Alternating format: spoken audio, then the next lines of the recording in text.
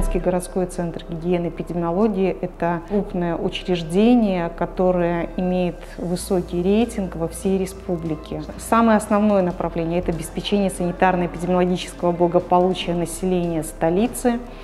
Э, в это направление входит контроль за всеми сферами деятельности.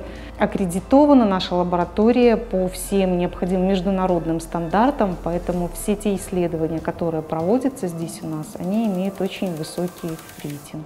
Лабораторная служба, которая включает в себя два основных э, подразделения, это микробиологическая лаборатория, в которой есть опять же несколько подразделов, и санитарно-гигиеническая лаборатория, в которой имеются лаборатории и гигиены питания, и гигиены труда, в которой э, оцениваются те условия труда, в которых работают наши трудящиеся. Это и лаборатория исследований физико-химических методов, радиологическая лаборатория, лаборатория исследования вод, атмосферного воздуха, то есть направления очень обширные. Мы проверяем все объекты, э, получается, Минск, Минские районы проверяем, то есть все ну, административное здание, детские сады, поликлиники, то есть все непосредственно можем уже отслеживать содержание, где превышает, где показатели хлорирования воды, то есть насколько у нас допустимые показатели по хлорорганическим соединениям. Мы являемся центром коллективного пользования, поэтому весь биологический материал со стационара города Минска, с поликлиник города Минска доставляется нам в лабораторию.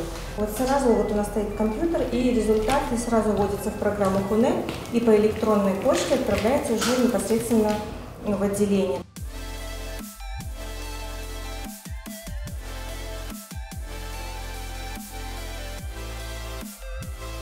Проводятся ПЦР-исследования в нашей лаборатории.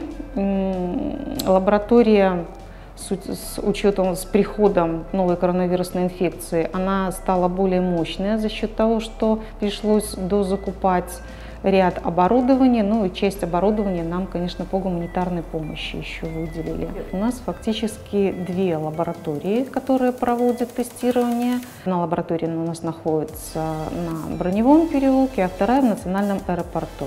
У нас еще есть дополнительные пункты забора материала, которые мы открыли э, на центральном автовокзале и железнодорожном вокзале для удобства наших граждан. Возвращаясь к мероприятиям, профилактическим мероприятиям против коронавируса, не нужно забывать, что все-таки основным мощным оружием против коронавируса является вакцинация. Причем неважно, какой вакциной будет вакцинирован человек, китайской или российской, титр антител в любом случае будет нарастать при активной иммунизации. Поэтому убедительно просим всех, кто еще не вакцинировался, сделать прививку для того, чтобы обезопасить себя и своих близких от этого коварного заболевания.